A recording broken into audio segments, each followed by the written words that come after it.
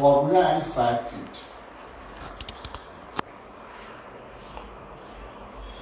This is very important in CT kind of a chance. So all of you, today is fine, you might have come with some expectations, some resources and all that, but from tomorrow onwards it will be very much applicable. You must dedicate one notebook, which you just use for uh, formulas and facts to revise them quickly. Okay, so one notebook of this size, uh, this size should be dedicated for writing all the formulas and facts in physics, chemistry and math. When I say that, I simply mean it that it's formulas and facts, not only formulas. Because so many things will be facts, which you should know very quickly. You should not derive them. Many times you get the answers because you knew it. Okay, because you knew it very well. Okay. So so many uh, examples are there in chemistry, physics and math where a question will be asked. You can very well solve it and get the answer. But imagine that you knew the answer, you can simply answer it. Okay, the best example is in chemistry, for example. Suppose you have uh, atomic number of certain element already in your mind. And question is asking you to figure out the atomic number of that element. You already know it, you don't even have to solve it. You don't even have to see the question, simply mark the answer. Because you know already that atomic number of this element is this. Suppose phosphorus 31, if you remember anyway, then why will you solve the question get 31? You know that phosphorus 31, okay?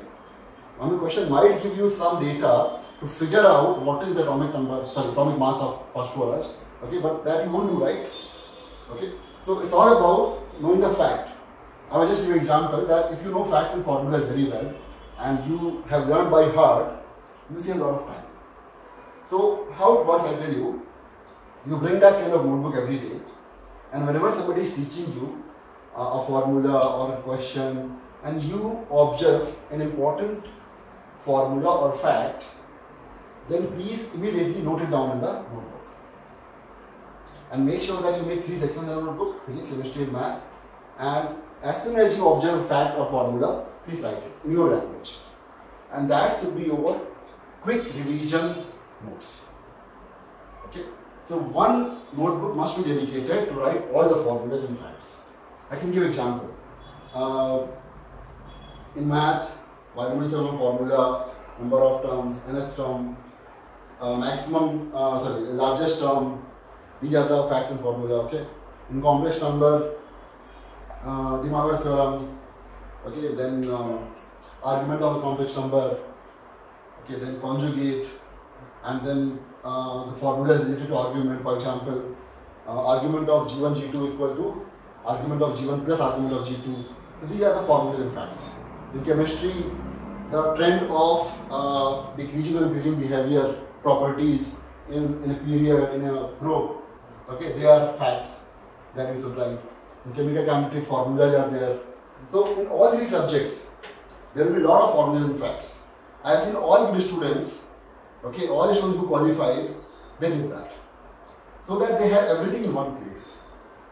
Unfortunately, there is no ready-made resource, either on internet or in form of notebook or some textbook, which has all the formulas and facts of three subjects in one place.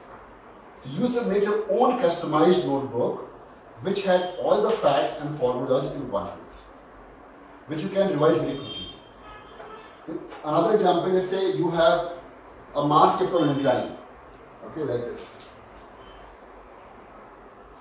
and this angle is theta. So how much is this force? Ah, so this is a fact. Okay. You don't have to derive again and again. You don't have, you don't have to take the angle and uh, resolve the vector again and again. You have to remember the fact that's the cycle. So this is a very small fact. Bigger fact also may be there. After that, suppose friction coefficient is mu. Okay. Sorry? Ah, you're right. Ah. So mu mg cos theta will be the friction force. Okay. That also you can remember as a fact. Okay in circular motion, uh, centripetal force is v square by r.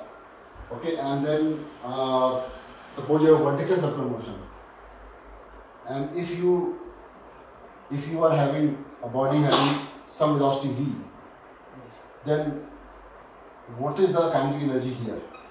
Okay, or velocity here? That's also a fact. Like that, there are so many facts which in an ideal case, in a theoretical case, so not be learned by heart. It's not a good habit. But in CT exam, it's a good habit because you have to save your time. So as many as possible, facts and formula, you can keep in mind that much of time you save in solving questions and.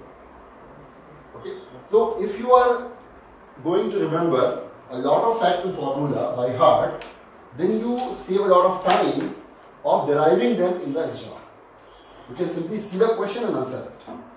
And that is the best way to do it.